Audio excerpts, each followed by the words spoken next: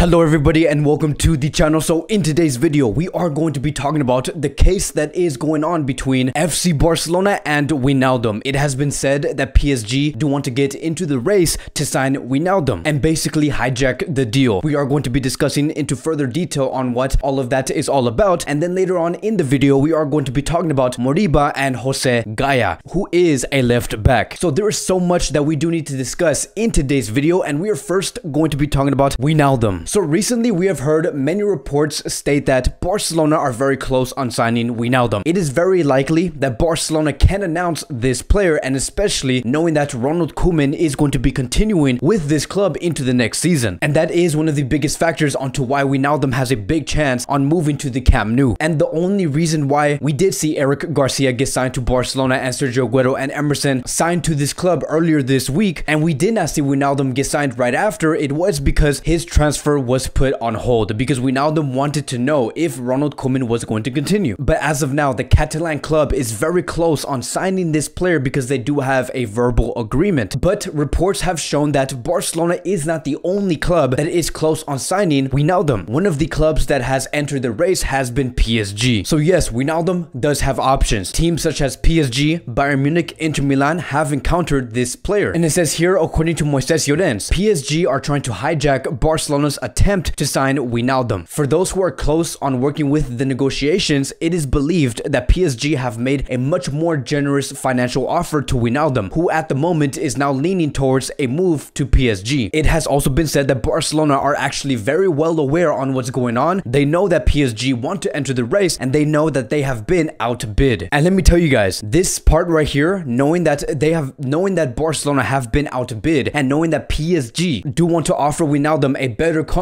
this is key right here. And I'm going to give you guys a backstory so you guys can know exactly what I am talking about. So many sources coming from the Athletic, they have stated that Wijnaldum wanted a long-term contract with Liverpool. Liverpool said no because they think that if they were to give Wijnaldum a long-term contract, knowing that he's 30 years old or 29 years old, by the time his contract does end or he is about one year away from completing that next and new contract from Liverpool, he would be around 33 to 34 years old. And Liverpool know that if they were to sell Wijnaldum in about three years after giving him a brand new deal, they would not get much value or a big fee for this player. So what Liverpool wanted to do was give Wijnaldum a two-year contract, and Wijnaldum did not want that. Wijnaldum wanted a longer contract and a contract that does reflect what he gives to this club. So maybe asking for a better wage and a long-term contract. But again, Liverpool did not want to do that. And so they came into a conclusion where Liverpool Wijnaldum just said, you know what, we're just going to leave it at this. We're going to let this contract run out and I'm going to leave for free in the summer of 2021. And at this very moment, there are many clubs, right,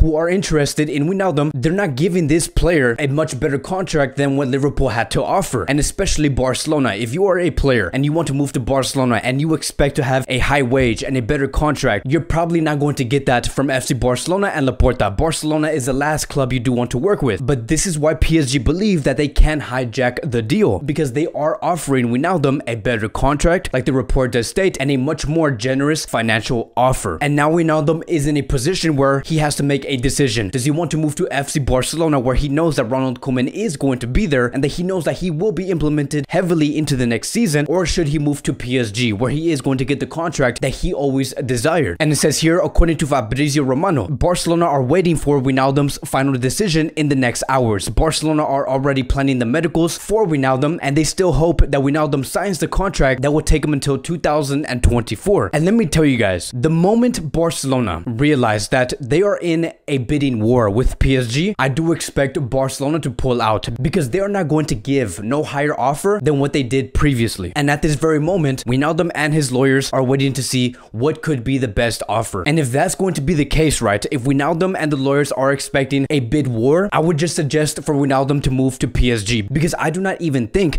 that it would be in Barcelona's best interest to give this player a higher wage and a longer contract and better benefits for someone who's 30 years old. This is not President Bartomeu's Barcelona. This is Joan Laporta's Barcelona. We are not going to buy players who are 30 years old give them a long contract with high wages. Barcelona, again, is no longer that club. So I do think that if that's going to be the case, Ronald Koeman and the club should greatly discuss what should their next options be. If Wijnaldum cannot come to Barcelona and Koeman has greatly admired this player and wanted him to come to Barcelona, then one of the other options could be Moriba, who is a very similar player to Wijnaldum. And I do believe that we can make Moriba a much better player than what Wijnaldum is. And I just believe that as a coach, you must make decisions that can bring you results for the now and for the long term. So when you leave this club in about two or three years, you leave this club in the best condition possible for the next manager. And if you were to ask me, would you choose Moriba or Wijnaldum? I would much rather lean towards Moriba, who has much more years in him and does have a higher ceiling. So it says here, according to Fernando Polo, Barcelona is currently not planning on making an improvised bid to CEO Wijnaldum after PSG's offensive. The Catalan club still trusts the continuity of Koeman, who will help Wijnaldum to choose them and not the PSG side. So we should find an answer on what Wijnaldum's decision is going to be, which is going to be between the days of Monday and Wednesday. So speaking about Moriba, I do want to talk about the latest details regarding this player. So look, we have seen many youth players have their contract renewed, but one of the players that has not gotten their contracts renewed has been Moriba. Many people have been questioning, what about this player? And it says here, according to Luis F. Rojo, Barcelona wants to present an official offer to Ilaix Moriba next week. They see him as a player for the future and want to extend his current deal. The idea is to renew his contract for three to four more years. Teams in England are eyeing the situation. And so look, Barcelona has to renew this player. If Barcelona want a box-to-box -box type of midfielder, Moriba is the answer. Is Moriba a finished product on what a box-to-box -box midfielder should be and how they should be performing on the daily basis? No. Moriba is a player that has so much to improve on. But the fact that Moriba has shown that he can be playing as a interior and as a defensive midfielder, that is excellent. We need players like that. And there has been reports stating that Moriba and the lawyers are demanding from Barcelona to give a better contract. Moriba does want more and better financial terms. But I'm here to clear things out when it comes to this report because that is a false narrative. None of that story when it comes to Moriba asking more for Barcelona is true. The only thing that Moriba wants to do is to help this team and improve this team for the better. So if you guys do see any stories regarding Moriba asking for a better price or a better fee or a better wage, it is completely false. And I think that with Koeman's continuity with Barcelona, seeing how Koeman does value this player and how he does want to use him very consistently, we will see Koeman bet on this player. And so by next season, which will be the 2021-2022 season, we should expect to see Busquets, Moriba, De Jong, Pedri, Collado, and Nico Gonzalez as our midfield options. And now I do want to move on towards the last topic of today, and we are going to be talking about Jose Gaya. This is a left back that has been talked about so much through the media in the past 48 hours. And the backstory towards Jose Gaya is that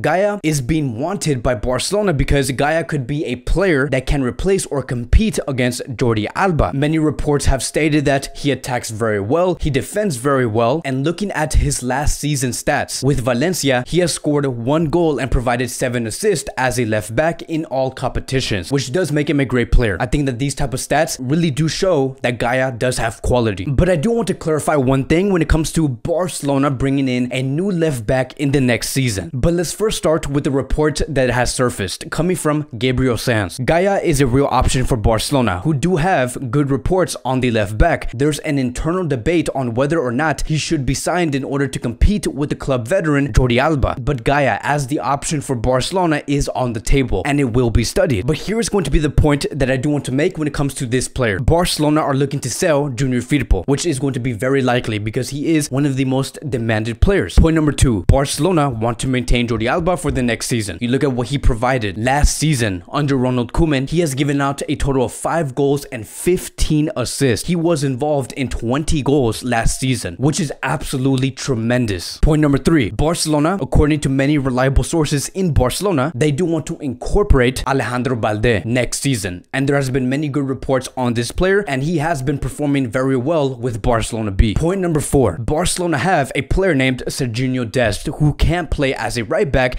and plays excellent as a left back. And he has shown that with the national team, which is USA. So the fact that we basically have three options going into the next season when it comes to the left back position, there is no necessity for Barcelona to bring in Jose Gaya. And yes, there could be an argument, but Gaya is better when it comes to the defensive work, which is true. I do think that that is a fair argument. Gaya has shown that defensively, it could give that player an advantage over the other players that Barcelona have in that position. But here's the thing, Jordi Alba, defensively, he has shown that he can get better. We have seen Jordi Alba defend very well in many occasions last season. There were times where he has made ridiculous defensive mistakes. We have seen that, but there has been moments where he has shown that he can be a great defensive option. The only reason why Jordi Alba showed consistency within his defensive game, it is because the change of tactics and formation is what killed this player. But Jordi Alba has shown that he does have the level, but the consistency does need to be there. Alejandro Balde has shown that he can track back and Barcelona can build upon this player. As for Serginho Dest, he is the exact same player like Alejandro Balde. His defensive game can be improved on. And I do believe that because we have so much material to work with, where we know that Jordi Alba can produce that level and we know that Balde